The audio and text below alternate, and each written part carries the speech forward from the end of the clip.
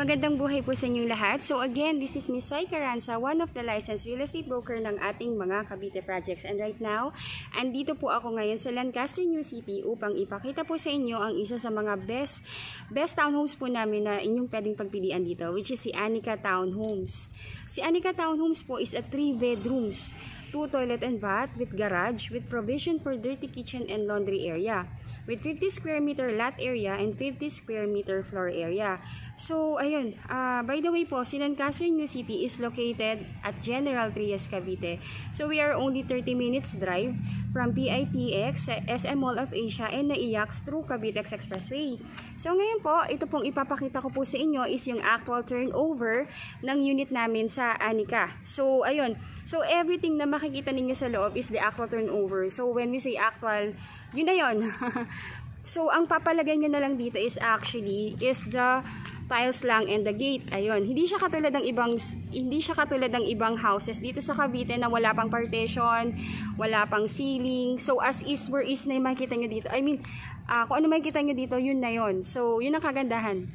Tiles na lang kasi majority nga ng mga pabahay namin dito sa Cavite is wala pa talaga siyang wala pa talaga siyang partition. Unlike this one, meron na siyang partition, meron na siyang ceiling. So ang po problema niyo na lang is tiles and gate. So magandang problema po yun, no? Kasi, alam niyo po yun, mas mamomotify niyo pa yung unit ninyo and alam niyo kung paano pa mas pagagandahin. Ayun, so, tingin ko hindi ko na mapapakita yung model house sa inyo kasi nilak na nung guard. nilak na ng guard yung model house. Ang mapapakita ko na lang sa inyo is actually the actual turnover which is, yun naman talaga pinakamahalaga, di ba? Dapat makita nyo yung actual na sample na lang, sample ng actual na turnover. So, this is the gate. I, I mean, this is the sample of the garage. Actually, one sedan, kaya po siya. Pag tinurn over po sa inyo to ha, wala pa pong graba, tas wala pa yung semento na yan. So, plain na lupa po yan.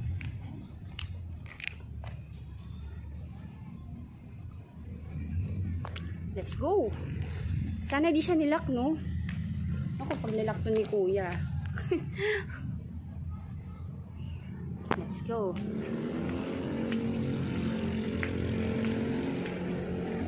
Ayun po, by the way, if you are new to my channel, please don't forget to subscribe and hit the bell button found at the lower right of this video screen. Please do that po, malaking tulong po yan sa aming team. Actually, bisitahin niyo po yung channel ko pagka-subscribe niyo. Makikita niyo lahat ng vlogs ko dito kay Lancaster New City. Ayan. Actually, si Lancaster City po, um, this is tag as a pinakamagandang subdivision ngayon dito sa Cavite. Kasi number one, yung location niya, General Trias Cavite to.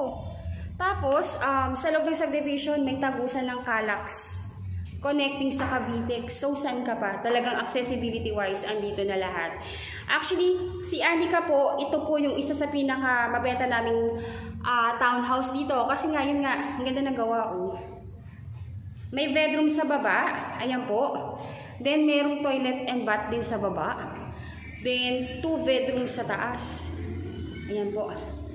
Ang dali niyang ayusan. This will be the living area. Ang laki. Sobrang actually livable na siya. Kahit hindi mo pa siya lagyan ng gate, kahit hindi mo pa siya lagyan ng tiles, eh, okay na okay. Then, this will be the kitchen area and the dining area. Then, sa likod, ang kagandahan kasi nga po, meron po itong provision for dirty kitchen and laundry area sa likod. So, prerogative nyo na. Pagka nagpapa, nagpapagawa na kayo ng bahay, pwede nyo siyang i-extend. This is your property line. Diba, pwede nyo po siguro ditong ilagay na lang yung kitchen para sa loob, andoon yung inyong dining area. Yung iba nating mga kapitbahay dito is actually pina-extend tong likod hanggang second floor yung iba nga eh. Ayun, just to give you an idea kung ano po yung mga pwede nating improvement na pwedeng gawin dito sa Anika. Ayun po, by the way po, Anika model is only 2.3 million. Title transfer, uh, legal miscellaneous fee is already included. Then the reservation fee is only 10,000 pesos. Then after 30 days, mag-start na po kayo ng inyong monthly down payment. The down payment po ng Anika is only um, 300,000 plus. Payable pa po yun ng 18 months to pay. So, installment plan, it's something around 12,000 to 14,000 lang po yun for 18 months. Then, right after po matapos yung down payment ninyo, stop payment muna kasi po ipapa-approve na natin kay bank financing. uh, pag-approve na kay bank financing, this is only of uh, 16, 16,000 plus, 16 to 17,000 plus per month. Bibigay ko na lang po yung ano, exact computation sa description ng video na to. Pakibasa na lang po yung description kung mababasa ninyo sa below po ng video na to. I-click nyo lang yung see more. Mababasa nyo na po. Now this is the kitchen area. Meron na siyang base cabinet. Yan. Then, ito naman po yung first na toilet and bath. So, may tiles na rin po siya. Kagandahan dito, if you have uh, elderly sa family na cannot na cannot be makaakyat baba sa second floor, may naka-ready na na bedrooms dito. Ah, na bedroom dito. May provision na rin for the AC. May outlet na rin. Iba naming client, in-extend pa nila itong ano eh. Bedroom nila hanggang doon sa supposedly na pocket garden kasi may garage pa rin naman doon na matitira. So yun, just to give you idea po. So usually sa every room ng Anika, meron na po ditong 2 to 3 outlet. Ayan, ito po, 1 and 2. Ayan, then third yung outlet for the aircon. Let's go up. Sobrang benta po nito. Actually, nag-start lang to before ng 1.6. Actually, 1.3 nga lang Catherine model pa ang pangalan nito before eh. Pero dahil nga po, nagtataas yung demand and lalong gumaganda yung General Trias lalong, nag, kumbaga lalo pong nade-develop yung bayan, alam naman natin, pag nade-develop, nag-a-appraise lahat. So, ang best pa rin na investment sa ating buhay ay house and lot. Ayan, so, this is the hallway. Ayan. Stay stairs pa baba. So, may two bedrooms po dito sa taas. This is the two, this is the second bedroom. Ayan po. By the way po, if OFW kasi kasi kalimitan talaga ng mga clients namin sa mga house and lot is OFW. If you are an OFW and wanted to reserve your unit, pwede po kayong magtalaga ng ano, ng representative ninyo dito sa Pilipinas para siyang siyang nakatawan sa inyo para pumirma ng mga documents in behalf po ninyo. Then, We also do online reservation kasi po dito sa Lancaster, pwede tayong mag ano, pwede po tayong mag-reserve through online. Kukunin lang po namin yung details ninyo and two valid IDs. After that, ibibigay namin sa marketing ng Lancaster New City. After that po, bibigyan tayo ng mapa. Papipiliin po namin kayo ng unit na naiibigan ninyo na available sa mapa. After that, ipapahold natin yung unit. Sunod po nun, bibigyan na po tayo ng marketing kung saan pong bangko ng developer natin ito ide-deposit yung reservation fee.